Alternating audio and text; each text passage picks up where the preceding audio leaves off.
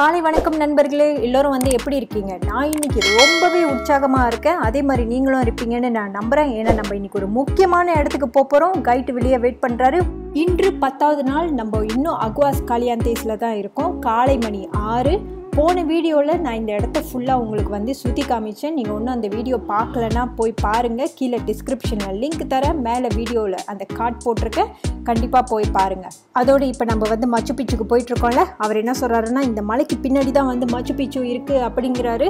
நம்ம கிட்டத்தில் தான் இருக்கோம். எஸ் வாங்க நம்ம போகலாம் ஸோ நம்ம கூட இன்னொரு ஃப்ரெண்ட் இருக்காங்க.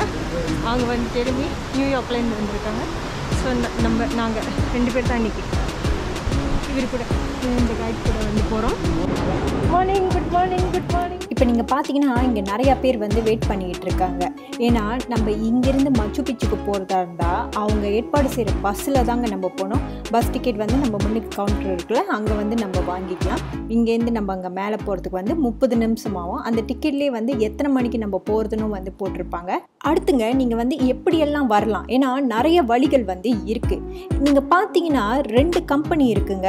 ஒன்று வந்து பேரூர் ரயில் ஒன்று வந்து இன்கா ரயில் இந்த வெப்சைட்டில் போயிட்டு உங்களுக்கு எந்த கம்பெனி பிடிச்சிருக்கோ ரெண்டு கம்பெனியுமே சூப்பருங்க. ஏன்னா ரெண்டு கம்பெனிலேருந்தும் நான் வந்து ட்ரெயின் ஏறி இருக்கேன் ரொம்பவே நல்லாயிருக்கும். நீங்கள் வந்து வெப்சைட்டில் போயிட்டு டிக்கெட் வந்து வாங்கிக்கலாம். அப்புறம் ரெண்டு ட்ரெயின் ஸ்டேஷன் இருக்குது லெட்ஸே நீங்கள் வந்து குஸ்கோவில் இருந்தீங்கன்னா குஸ்கோலேருந்து வந்து இருபது நிமிஷம் ஆகும். டெக்ஸி எடுத்து போரோய் ஸ்டேஷனுக்கு போயிட வேண்டியதான் அந்த ஸ்டேஷன்லேருந்து நீங்கள் மச்சு பிச்சுக்கு டிக்கெட் வாங்கிட்டு நேராக வந்து இறங்கிற வேண்டியதான் அதுக்கப்புறம் என்ன மாதிரி ஒலிந்தே தம்போ வந்து சுற்றி பார்த்தீங்கன்னா ஒலிந்தே தம்போவில் வந்து ஒரு ட்ரெயின் ஸ்டேஷன் இருக்குது அங்கே டிக்கெட் வாங்கிட்டு நேராக மச்சு பிச்சுக்கு வந்துட வேண்டியதான் இப்போ நம்ம பஸ்லேருந்து இறங்கியாச்சு பாஸ்போர்ட் டிக்கெட்லாம் வச்சுட்டு உள்ளே போகிறதுக்கு ரெடியாக வெயிட் பண்ணிட்டு இருக்காங்க.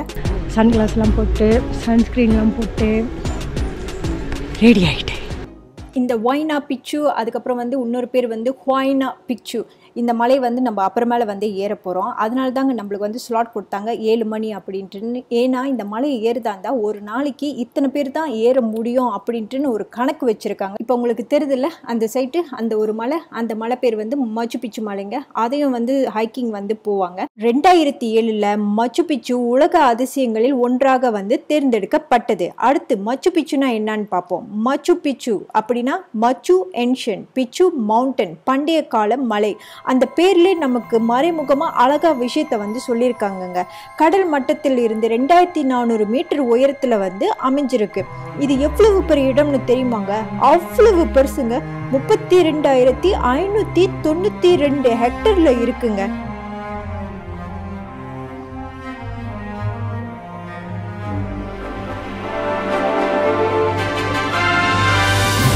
மச்சு பீச்சு உங்களை அன்புடன் வரவேற்கிறது.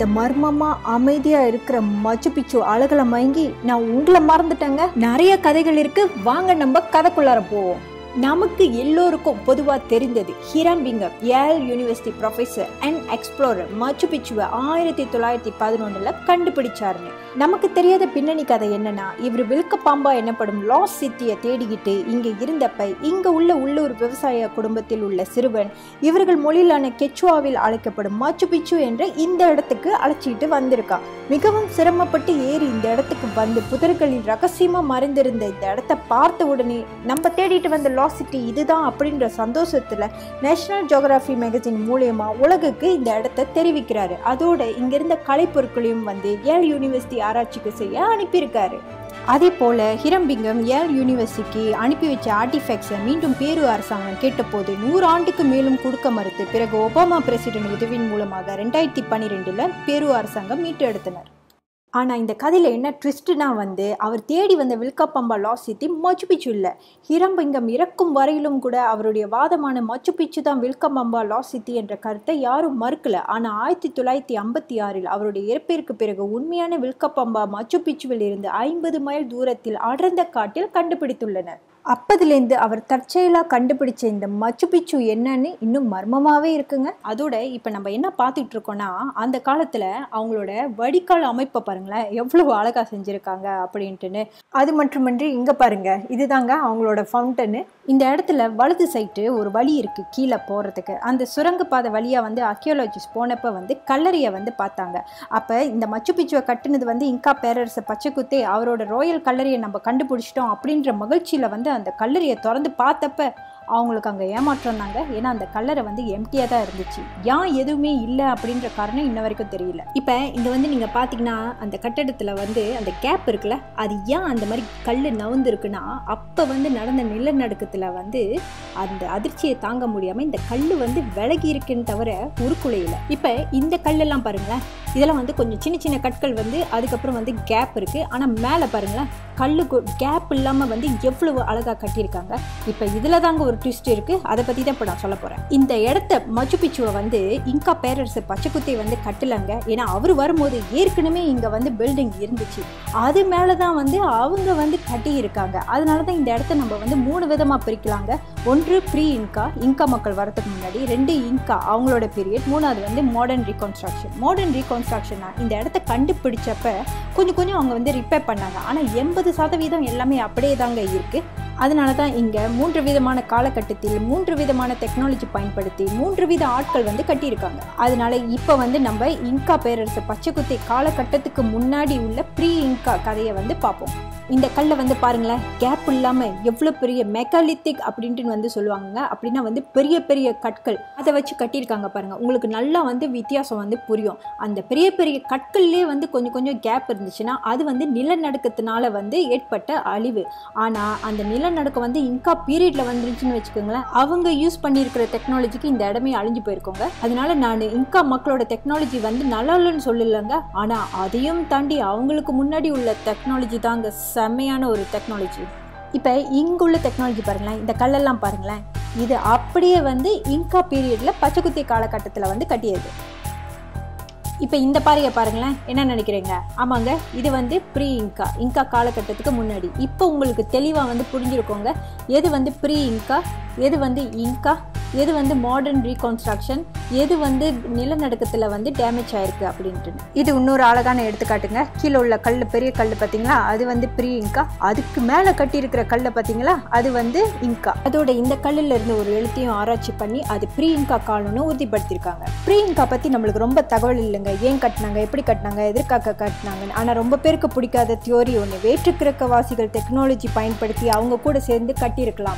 இப்போ நம்ம இன்கா காலத்தில் பார்ப்போம். அதுல இருந்து கோல்டன் டீஸ் அவர்களுடைய கடவுளான வீராகோச்சாவின் பரிசு எனவும் இது வந்து பச்சைக்குத்தி மன்னருக்கு கிடைத்ததாகவும் அவருடைய வெற்றிக்கும் புகழுக்கும் இந்த டிஸ் தான் காரணம்னு சொல்றாங்க. ஆனால் இந்த மச்சு பிச்சு கட்டிய நூறு ஆண்டுகளிலே அதை திடீர்னு விட்டுட்டு எல்லாரும் வந்து போயிட்டாங்க. அதுக்கு ஆராய்ச்சியாளர்கள் கருத்து என்னன்னா ஸ்பானிஷ் இந்த இடத்த வந்து கண்டுபிடிச்சு அழித்திடக்கூடாது என்பதற்காக இன்கா மக்கள் இந்த இடத்த விட்டு போயிருக்கலாம் அப்படின்ட்டுன்னு சொல்றாங்க. ஆனா இந்த இடமே வந்து சித்திடலுங்க. அப்படின்னா வந்து போர்லேருந்து தப்பிக்கிறதுக்கு ஒரு பெரிய பிரம்மாண்டமான கோட்டை. அதுதான் வந்து இந்த மச்சு பிச்சு அப்படி இருக்குன்றப்ப இவங்க இங்கேருந்து போனது வந்து ஒரு கேள்விக்குறிதாங்க. ஆனாலும் இன்னொரு விஷயம் உண்மைதாங்க. அந்த போர் காலத்தில் ஸ்பானிஷ் வந்து இந்த இடத்த கண்டுபிடிக்கவே முடியல. இந்த இடம் பேர் வந்து டெம்பிள் ஆஃப் த்ரீ விண்டோ இங்கேயும் வந்து ஒரு முக்கியமான ஒரு விஷயம் இருக்குங்க. இந்த இடத்துக்கு பின்னாடி டேவி கிரப்பி என்ற இன்ஜினியர் ரெண்டாயிரத்தி பத்தில் வந்து ஒரு அண்டர் கிரவுண்ட் போகிற வழியை வந்து கண்டுபிடிச்சிருக்காரு. ரெண்டாயிரத்தி பதினொன்றில் தேரி ஜெமின் என்ற ஆர்கியோலஜிஸ்ட் அந்த இடத்தோட லேஅவுட் வந்து இந்த டெம்பிள் ஆஃப் த்ரீ விண்டோவோட ஒத்து போகிறத வச்சு பல கருவிகளையும் அதோட வந்து சில்வர் கோல்ட் டிடெக்ட் பண்ணுற கருவியை வச்சு சோதனை செஞ்சுருக்காரு. சோதனையோட முடிவு அந்த பாறைக்கு பின்னாடி உண்மையிலே வந்து ஒரு கதவு இருக்குங்க. அந்த கதவு கீழே அண்டர் கிரவுண்டுக்கு வந்து கூட்டிகிட்டு போகிறதும் அங்கே பல அறைகள் இருப்பதாகவும் அதோட அந்த அறைகளில் வந்து கல்லறைகள் இருப்பதாகவும் அதுக்குள்ளே வந்து பல்லும் டிடெக்ட் பண்ணியிருக்கு. அப்படின்னா வந்து கண்டிப்பாக மம்மிஸ் இருக்குது அதோட அந்த இடத்துல வந்து நிறைய இரும்பு பொருட்களும் தங்கங்களும் இருப்பதாகவும் அந்த ஃப்ரீக்குவென்சி வேற டிடெக்ட் பண்ணியிருக்கு. ஆனால் இங்கா மக்களால் சீல் செய்யப்பட்டுள்ள அந்த கதவை திறந்து உள்ளுக்கு போய் ஆராய்ச்சி செய்ய லோக்கல் மக்களும் பேரு கவர்மெண்ட்டும் தடை விதித்துள்ளது. ஏன்னா பச்சைக்குத்தி அரசர் வந்து சாதாரண அரசர் இல்லை. அவர் ரொம்பவே பவர்ஃபுல்லான அரசர். எங்கே கதவு திறந்து அதுவும் உள்ளே இருக்கிற கல்லறை அவரோட கல்லறையாக இருந்தால் அவருடைய சாபத்திற்கும் பேரிழப்பிற்கும் ஆளாக கூடாதுன்னு பயப்படுறாங்க. மேபி எல்லாரும் தேடிக்கிட்டு இருக்கிற அந்த கோல்டன் சண்டேஸ் வந்து அவர் கூட அந்த கல்லறையில் வந்து இருக்கலாம். அதனால பச்சைக்குத்தி மன்னரும் அந்த கோல்டன் சண்டேஸும் திரும்ப இந்த உலகுக்கு வந்தா என்ன நடக்கும் அப்படின்றது மர்மமே. அதனால சில கதவுகள் திறக்கப்படாமல் இருப்பதே நமக்கு நல்லது. இந்த இடத்துல வந்து அந்த காலத்தில் உள்ள மனித எலும்பு கூடுகள் மண்டை ஓடுகளை வந்து கண்டெடுத்திருக்காங்க. ஆனால் இதில் கவனிக்க வேண்டிய விஷயம் என்னன்னா அந்த மண்டை ஓடுகள் எல்லாமே வந்து நீளமாக இருந்தது அப்படின்னு சொன்னாங்க. நம்மள மாதிரி நார்மல் மண்டை ஓடுகள் அல்ல. அதோட அந்த காலத்தில் அவர்களோட கடவுள் நம்பிக்கை வழிபாடு எல்லாமே வந்து சூரியனை ஒட்டி தாங்க இருந்துச்சு. அதனால இங்க பல இடங்களில் ஆய்வாளர்கள் வந்து வழிபாடு சடங்கு சம்பிரதாயம் வானியல் ஆய்வுகளுக்கு நாள் காட்டியாகவும் பயன்படுத்தப்பட்டிருக்கலாம்னு கணிச்சிருக்காங்க. அதில் ஒன்று இந்த மர்மமான இந்தி வாத்தானா இங்கா நாள் காட்டின்னு அழைக்கிறாங்க. என்னத்துக்கு எதுக்கு எப்படி செஞ்சாங்கன்னே தெரியல.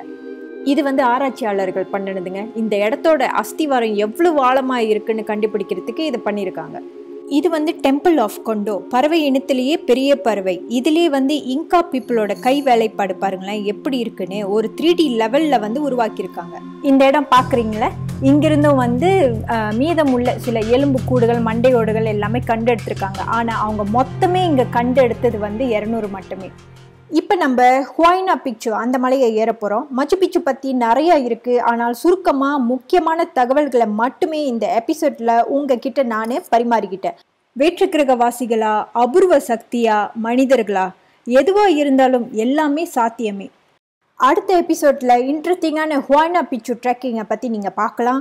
உங்களுக்கு இந்த காணொளி பிடிச்சிருந்தா மறக்காமல் லைக் பண்ணுங்கள் ஷேர் பண்ணுங்கள் காமெண்ட் பண்ணுங்கள் புதிதாக இந்த சேனலுக்கு வந்திருந்தீங்கன்னா சப்ஸ்கிரைப் பண்ணுங்கள் நீங்கள் கொடுக்குற உற்சாகம் தாங்க என்னால் இந்த மாதிரி தரமான வீடியோக்களை போட முடியும். இப்போதைக்கு உங்களிடமிருந்து விடைபெறுவது உங்கள் நீரா செல்வி. பாய்